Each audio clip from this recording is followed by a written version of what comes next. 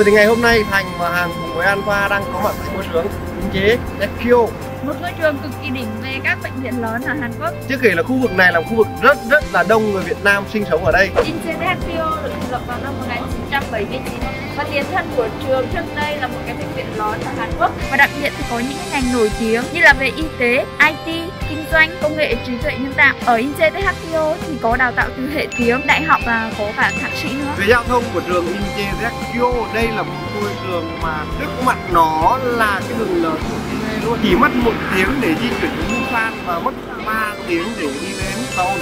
Có một cái điều mà thành rất rất là thích ở ngôi trường này đấy chính là về giáo trình. Giáo trình đào tạo tiếng Hàn ngôi trường này người ta sẽ đào tạo giáo trình sâu cực kỳ cực kỳ chi biết học sinh cần cái gì và cái gì là nên có cho học sinh. Tuyệt vời. Về chi phí học tiếng của trường Inche THKO về chi phí học tiếng của trường Inche thì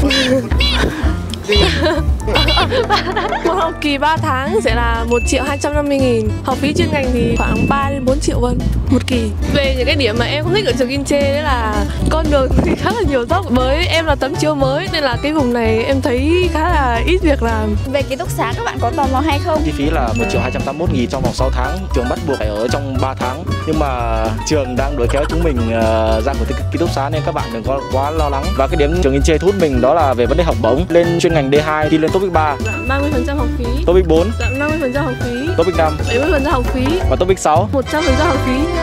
Hơn nữa về giáo trình của trường ưu tiên các bạn thi để lấy Topic chất lọc từ vựng và ngữ pháp sang một quyển riêng để chúng mình học giống như ở Alpha cứ vừa vào vừa vào bắt mình phải học. Thành sẽ dành tặng cho bạn nào quan tâm đến Topic một bộ như thế này học viên của Thành yên tâm tự tin thi Topic 6 luôn nhận định về ngôi trường Inche Tokyo này, đây là một ngôi trường dành cho những bạn nào xác định học và làm, nghĩa là 50 50 khi mới sang, các bạn sẽ phải ở ký cá bắt buộc là 3 tháng. Tất nhiên là dạo gần đây thì người ta vẫn mong muốn các bạn ở tầm 2 tháng bạn ra ngoài này khu vực Khmer này á, tất nhiên là các bạn sẽ quan tâm đến việc làm thêm này, quan tâm đến chi phí sinh hoạt. Thì chi phí sinh hoạt ở khu vực này nó rất rất là rẻ. Cái thứ hai nữa ở Khmer là có cái chợ, thậm chí có cộng đồng người Việt Nam rất là đông cũng mới thành đến cái chợ Khmer để xem ở đây người ta nói tiếng Hàn hay tiếng Việt như thế nào. Còn mình hiện tại bây đang có mặt tại một khu chợ Hàn Quốc và người ta đồn, người ta bảo là tại khu chợ này á, bạn chỉ cần biết tiếng Việt Nam thôi thì có thể mua được cả chợ rồi.